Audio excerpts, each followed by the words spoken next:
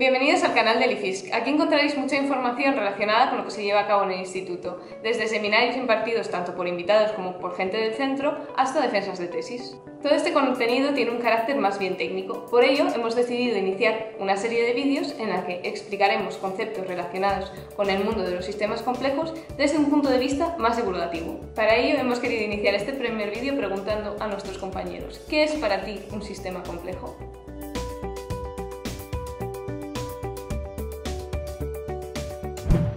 Cuando estamos de cena con los amigos, siempre hay alguien que tiene un amigo, un profesor, un conocido al que le ha pasado algo. Nos cuentan su historia y a los pocos días volvemos a contar esa historia a otras personas. Al final lo que tenemos es una red a través de la que se propagan las historias. No podemos explicar los fenómenos que aparecen en esa red simplemente por las interacciones de uno con uno, sino que necesitamos tener una visión global de lo que está ocurriendo. Cuando pensamos en la formación de patrones de vegetación en sistemas complejos, o como un sistema complejo, pensamos en un sistema con muchos elementos, con muchos seres vivos que operan a diferentes escalas y, interconectados entre sí. ¿No? A veces es incluso difícil eh, tener en cuenta o, concebir todo, todas las partes del sistema. Sin embargo, aparece eh, un orden, ¿no? aparece unas regularidades, aparece un, patrón que eh, solo se puede entender a partir de las interacciones.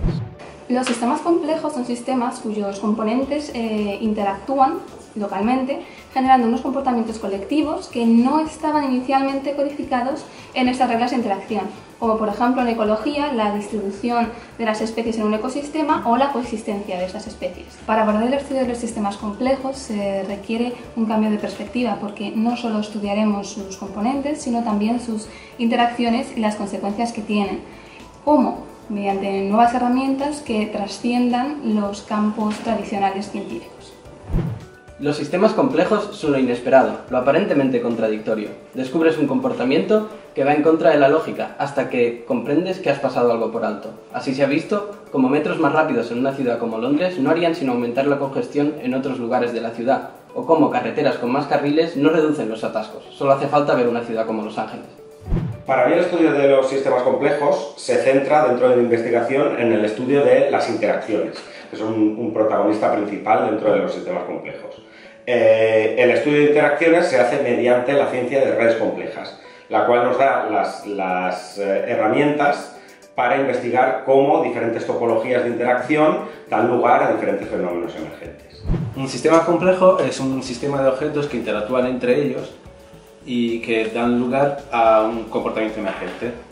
Este comportamiento se llama también cisne negro y es un comportamiento que no te esperas al sumar individualmente los comportamientos de los objetos. Mm, esto se ve, por ejemplo, en cómo la gente va al trabajo. Si miras los movimientos desde una escala diferente, esto te da la oportunidad de tratar al problema clasificando el fenómeno en algo que ya se ha visto, como por ejemplo en física. Y esto, este enfoque es crítico para resolver problemas que al revés serían intratables.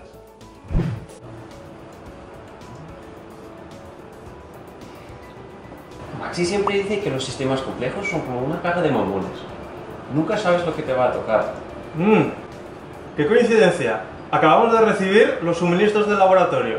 Vamos a comprobarlo. Mira, hay sistemas con sabor sincronización, caos. ¿Y esto?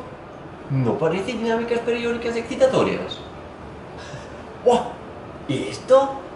¿No es un láser semiconductor?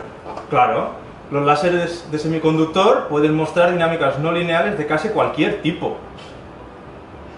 Ah, claro, y se pueden acoplar entre sí para crear redes complejas con dinámicas aún más ricas. Esperamos que os haya gustado el vídeo y que os hayáis hecho una idea de lo que es un sistema complejo. En caso de que queráis más información, os dejamos algunos links en la descripción. Y si os ha gustado, no os olvidéis de suscribiros y darle a like.